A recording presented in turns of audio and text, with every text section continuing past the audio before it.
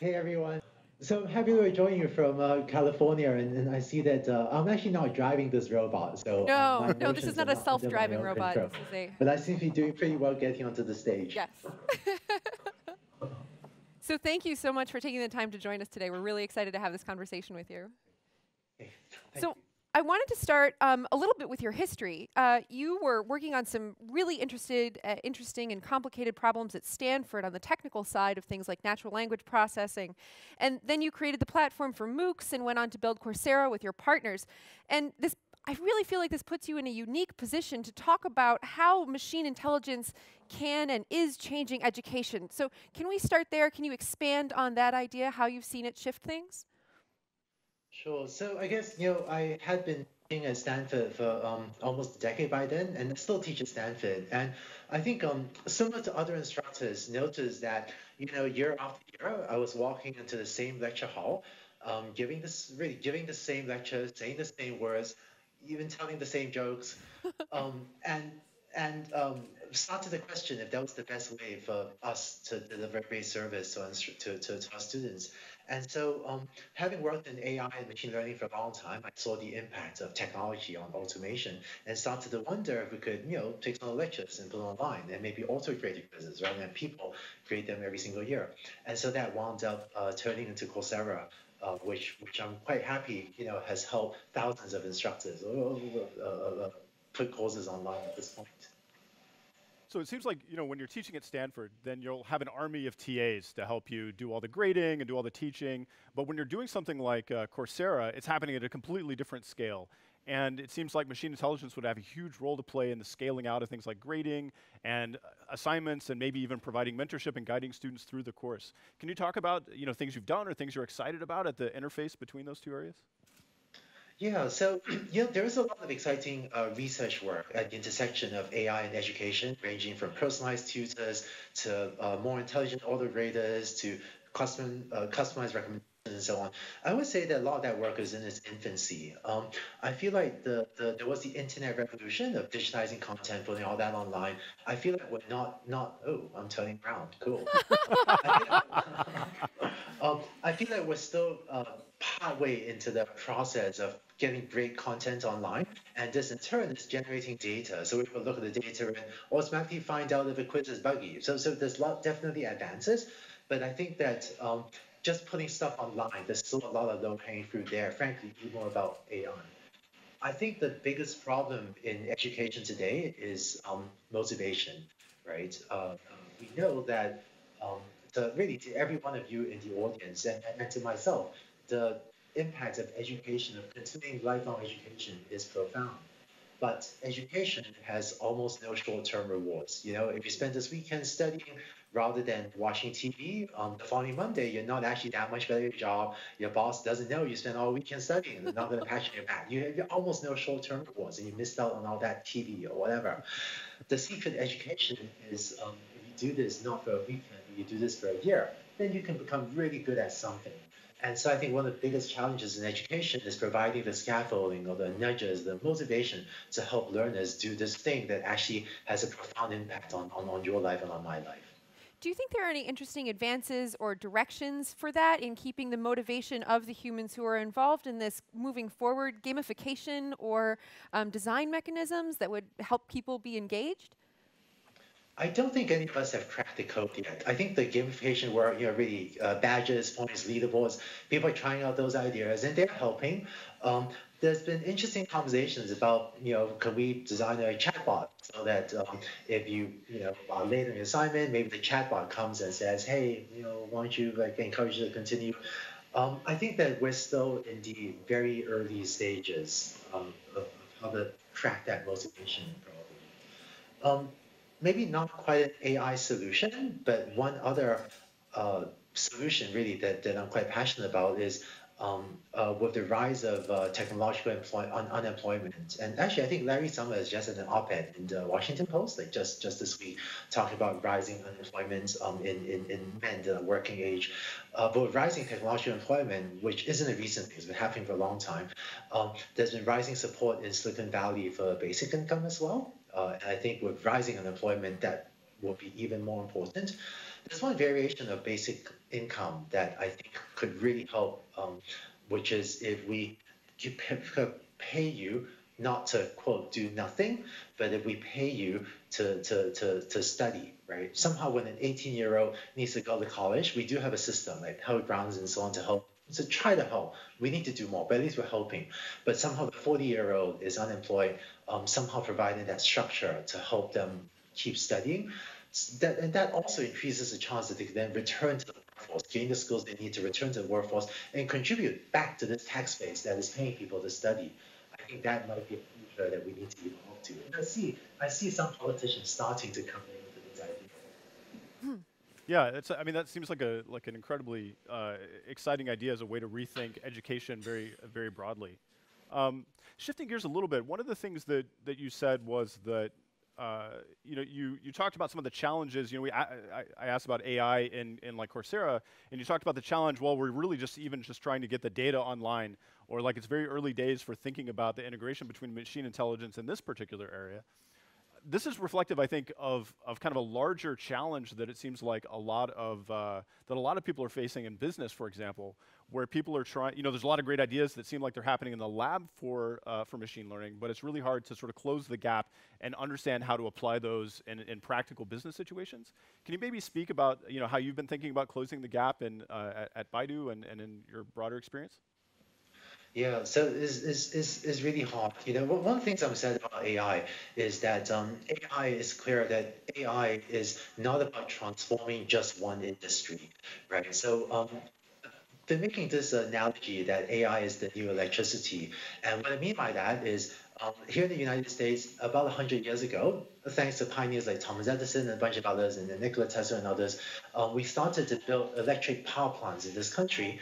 And electrification, electricity, transformed industry after industry, everything from agriculture, which is transformed by refrigeration, to communications, uh, uh, to um, uh, uh, to transportation, to manufacturing. You know, industry after industry was transformed by electricity, and I feel like we're now in a position where there is a surprisingly clear path to use AI to transform multiple industries.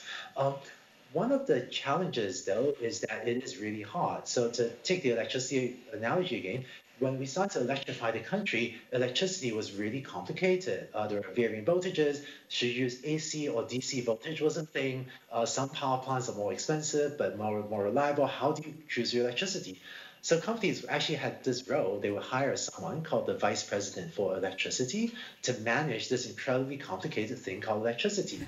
And VP of electricity sounds crazy. Who has a VP of electricity? But it actually made sense back then. I feel like today AI is so complicated that I see corporations hiring someone to be their VP of AI or the chief AI officer uh, to manage AI for them. Um, you know, as AI matures, becomes easier to use, maybe this role will go away, but I think that uh, uh, from, from, from a corporate point of view, this is a um, healthy structure to, to build a team with the AI talent to figure out how to insert this into, into your organization. So at what point do you feel like that is that role is going to go away? Is it is it the point at which AI becomes ubiquitous and sort of reaches the point where it's kind of the same thing as electricity and it's just something that's integral to literally everything you do on a daily basis? Is that something we have to wait for? Yeah, I, actually, I would love for that to happen. Um, I think that uh, today, you know, when, and, and see, like today, right? Um, I, I'm seeing all of you on a TV I'm not seeing you on my electric TV. That just sounds weird. It's clearly an electric TV, right? Uh, uh, and I think uh, in the future, I hope that I don't want to get into my AI self-driving car. I want it to be my car, and I want my car to just take me where where where it goes. Like, what's the big deal? This is what a car should be like in the future. So um, the best technology often disappears into the background, right? And and I don't call you on my smartphone or my mobile phone. It's just my phone. What's the big deal? We all have one of these things. So um, I do see AI increasingly disappearing in the background. You know, I still remember when spam filters were a thing, and none of us think about that. Uh, there was a time when cameras that autofocus on your friend's face was a thing. And now we don't we don't even think about that. Um, and I think and, and one of the things, one of the exciting things about AI is that I still see a lot of accelerating progress. Right? The innovation, the AI ecosystem is extremely open. Those that work in AI, you know, we tend to be simple engineers, and and, and, and, so we, we actually like sharing our ideas, and that's creating an ecosystem. And I think I heard uh, uh, Hugo uh, mention this just now. Uh, that Hugo Larochelle, right, mentioned this ecosystem is continuing to accelerate. So the accelerating progress in AI means that um, there's a lot of stuff that isn't going to disappear into the background. We're still inventing new stuff, but I'm also happy that some of the stuff we invented just a few years ago is, is no longer a thing. You just use it, and what's the big deal? And that's a sign of progress. Yeah, so as these kind of things fade into the background, I mean, th this is in some ways the history of AI is this moving goalpost, something that uh, seemed like uh, we couldn't achieve it. Then eventually we figure out how to how to solve that problem with computer algorithms, and then it just becomes a tool and stops becoming AI, and then AI becomes something else. Uh, is that a process that you think is eventually going to converge, like to, to something, or or is are we just going to be kind of, uh, you know, facing Always a kind of a sequence of like what we kind of call weak AIs that just become cars? uh, yeah, you know, for what it's worth, um, I think these weak AIs have a long ways to go. Um, most of AI today is relatively simple. We're good at you know, uh, uh, inputting something and outputting something, like inputting email, tell me it's spam or not, In, input a picture of what's in front of your car, tell me, you know, what's the safe way to drive the car. Um, but it turns out that this formula of learning input and outputs, the technical term is supervised learning, this is enough to transform a lot of industries. Um, input a loan application, tell me if I should apply or deny this loan application, that will transform consumer finance. And so the, the we're so far from human level intelligence. Um, those of us that work in deep learning sometimes make an analogy to the human brain, but frankly, we have pretty much no idea, right? Almost completely no idea how the human brain works. And so our algorithms are really almost nothing like the brain. But despite their simplicity and despite the fact there are a lot of problems and they need so much data to learn, uh, this, this, this thing we have is already enough to transform industries there's so much progress. I hope for additional. So I do see a clear shot today to transforming multiple industries. And then actually, Suchi Saria just now talked about healthcare. Spent a lot of time in healthcare myself, and it's surprisingly the roadmap is becoming clear for how AI will transform healthcare. Um, but there's a one of the challenges of AI is when we speak to reporters, it's hard to explain this very high goal, which is we will transform industry after industry but it isn't so hard that I think we can build a robot that can do everything a human can, and maybe with evoker AI or whatever. So I think the, the, the broader, broader public is a nuanced message that we're very high sight, transform multiple industries, but not so high as to risk these evoker robots or whatever some of the, the popular fears.